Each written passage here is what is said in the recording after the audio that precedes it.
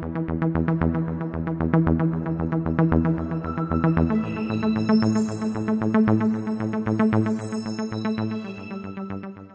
Hey, what's up everybody and welcome back to the Mid-Level Media channel, your hub for everything physical media and entertainment. I am Ken and I'm here today to talk about a very exciting January release from Paramount and that is Juice on 4K starring Tupac Shakur Omar Epps, and directed by Ernest R. Dickerson. So this is a film from 1992. I've never seen this movie, so this was a first time watch for me, and I'm very excited uh, to get into this one. You know, having recently watched Menace to Society, Boyz n the Hood, this life in the hood genre, I'm really starting to gravitate towards. I don't know, there's something something about it that just feels so real and raw and I just really connecting to it just on an emotional level. And I've really been enjoying watching these movies. So this was another one that I was excited to get into for the first time. But before we talk about it, before I break it down for you guys, we're gonna talk about the movie itself. Then we're gonna talk about the audio and the visual quality. We're gonna talk about the special features. We're gonna talk about the packaging, all that good stuff, and let you guys know if this is worth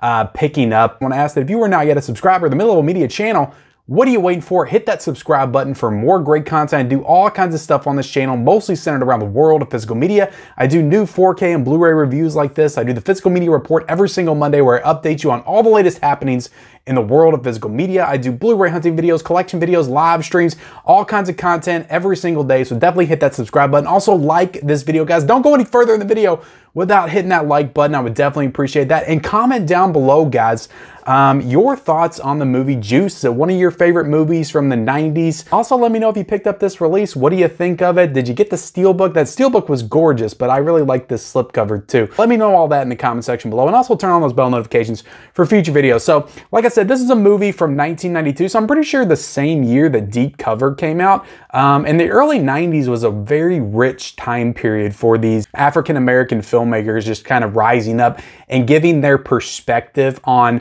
um, not just like the gangster dramas, but also just like the noir, the crime thriller that Scorsese really popularized in the 70s and 80s, Francis Ford Coppola as well, and just kind of giving their perspective and their take on it. Um, and Juice is another really good film. Would I put it up there with Menace to Society, Boyz n the Hood?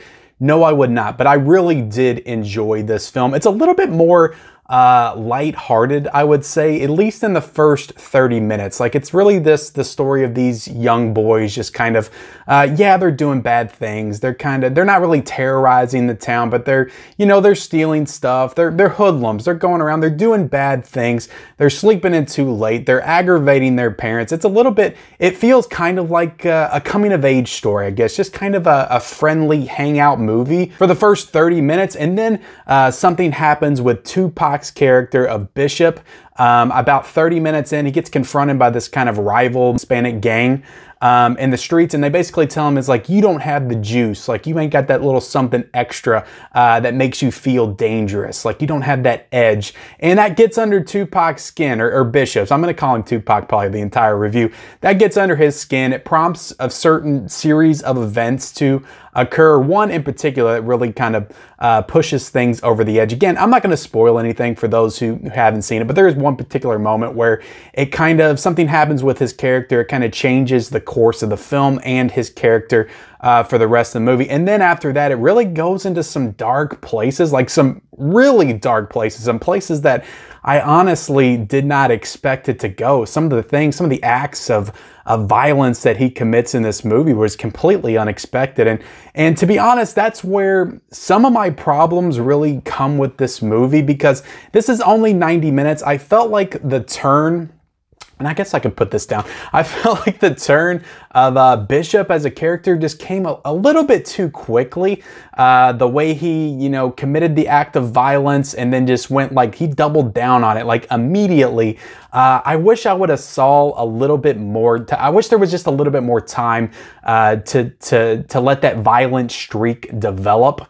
Um, I think would have made a lot more sense just some of the stuff that he does after that if, if you would have got more time to really develop uh, this character and this character arc for him. So I don't know what the the studios did. There was a, a portion in the, in the, special features that I watched with Ernest R. Dickerson talks about how the studio was trying to interfere on some things and they changed the ending um, and things like that. So it just, it just kind of feels like a movie that rushes and goes a little bit too quickly, was maybe a little bit too edited. And I would have liked to seen, I don't know if there's like a director's cut out there that's maybe adds 15 minutes, but I feel like there's something there as far as like just the way that Tupac's character Bishop just develops. And uh, I, I, feel like if maybe given a little bit more time, it just would have felt, it would have been more impactful uh, with some of the things that he does later on in the movie. But it's a really cool movie. It's really well shot. It's got that got that really cool, just kind of 90s aesthetic, that urban setting. You know, you got the nightclubs, you got all the neon colors and stuff. It just feels very early 90s. It's got a really great soundtrack, a really great feel and vibe to it throughout. And yeah, it just really, it starts off pretty, uh, you know, pretty light, pretty light, you know, friendly, um, and then kind of draws you into that. And then it just kind of flips on you out of nowhere and just gets really dark um, and, and, really kind of depressing by the time we get to the end of the film. You got Omar Epps, who's kind of like uh, Tupac's best friend in the movie, and they have kind of a showdown at the end uh, because he's not liking what's going on with Tupac and, and the, the path that he's going down. And then there is this moment at the end that, you know, you feel like is supposed to be really emotional, but to be honest, wasn't really impactful for me. And I think that's because um, you know, Bishop's character, that the arc of that character didn't feel fully earned uh, by the time that we got to that moment. But it's certainly um, a really good movie. It's just not as powerful and it didn't resonate with me as much as like a movie like Menace to Society. When I was done watching that movie, uh, I was floored. My jaw was on the floor. Like, that movie affected me. That movie, that's the type of movie that afterwards I'm sitting for 10 minutes just thinking about everything that I just saw on screen. And this is a really good movie. I really like it, but it didn't have that that same uh, that same effect, that same level of impact on me when I was finished watching it. So at the end of the day, guys, it's a good movie. I would give it probably a 3.5 to 4 out of a 5. I'm not exactly sure. I'll, I'll put it on Letterboxd and put it up by the time, but it's somewhere in that range for me. Honestly, probably like a 3.75 since I can't really decide. So really good movie. Really enjoyed the movie. Some good performances. Tupac can really act. Like he was really good in this movie. Everybody uh, was good in this movie. Omar Epps, like, um, you also get Samuel Jackson in this movie, which, like, is he at every movie? I swear to God, every time I put on a movie, uh, Samuel Jackson pops on. I'm pretty sure he's in every movie that's ever uh, been made. So yeah, it, has got a great cast in it. Uh, Queen Latifah's in it for for a small portion. So really good kind of early 90s cast that you would see in like different TV shows and stuff during that era. Now let's get into the technical specs of the movie. So visually guys, I thought that this was a really strong transfer for Paramount. It's not the best that I've ever seen um, out of the studio, but I thought it was a really strong transfer. It's a native 4K. It's got HDR. It's got Dolby Vision. Uh, so all that stuff, you know, it's got that uh, that urban setting. So when you go out into the streets and stuff, and they're all walking, you got the you got the spray paint on the walls and just the way that the walls are painted and stuff. It's got the it's got the pinks, it's got the blues and stuff like that. And some of the nightclubs, some of those sequences, they all looked really good. The facial detail looks awesome. So this movie really pops with that HDR. Looks great. Um, I don't have the Blu-ray to compare to because with this release, you only get uh, the 4K. You do not get the Blu-ray, but there is an additional, there was a Blu-ray release alongside this, a 30th anniversary edition. And then there was one that was released uh, five years ago for the 25th anniversary edition. And they all had the same cover um, as this one does. So transfer wise, guys, it looked great, phenomenal. Not the best that I've seen from Paramount. It wasn't up there with Addams Family, but it's definitely no slouch in that department. looks absolutely fantastic. So getting into the audio, this is where it might get a little bit disappointing for everybody. There is no Dolby Atmos and it still maintains the same DTS HD 5.1 audio from the Blu-ray five years ago. So they didn't do anything with the audio in terms of upgrading here. So like I said, I, I feel like they could have done a lot with this movie. Like there's some gunplay, some gunfighting sequences. It probably would have sounded really good. It's got a great soundtrack with the DJ uh, and the turntables and the nightclub sequences. So I feel like they really could have done something special with the audio here and really given um, some of those audio junkies with a Dolby Atmos setups something to chew on with this release, but they, they chose not to do it, not upgrade. So um, anyway, yeah, a little bit disappointing for the audio. I just want to point that out. As far as the special features, I watched all the special features on here. There's three main ones, and then there's an audio commentary with the director that I didn't get into, but I really would uh, like to at some point. So some really good commentaries. Like I said, there's a really um, good uh, interview with the director Ernest R. Dickerson where he talks about how they made them change the ending of the movie uh, because of the uh, test screenings and stuff that happens and like involving Tupac's character and him screaming and giving a half-hearted scream. It's a good interview with, with Ernest R. Dickerson. He's pretty candid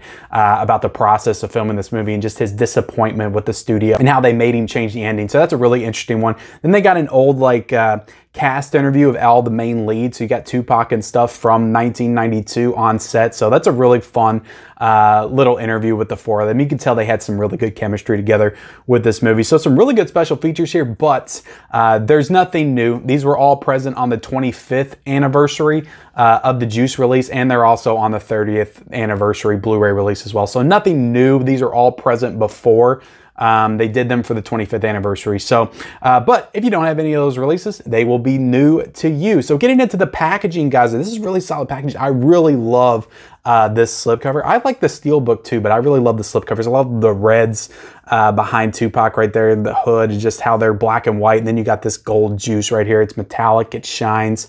Um, it just looks really good and crisp. And I got, I ordered this from Amazon and this is like maybe the first time I've gotten something in the mail from Amazon where the slipcover had like no damage on it. Like this slipcover is pristine. Like it looks great. Um, no discard on the disc or anything, but it does come with the digital code, but no Blu-ray disc. So there you go, guys. That is my thoughts on Juice on 4K. I hope you enjoyed this review. Like I said, leave your thoughts on this release, on this movie in that comment section below. Did you buy the steelbook or the slipcover? Let me know in that comment section below. Also, be sure to like this video, guys. Subscribe to my channel if you haven't already for more reviews and collection updates and physical media content. And then be sure to turn on those bell notifications so you can be updated every single time a new mid-level media video drops. And I'll see you next time.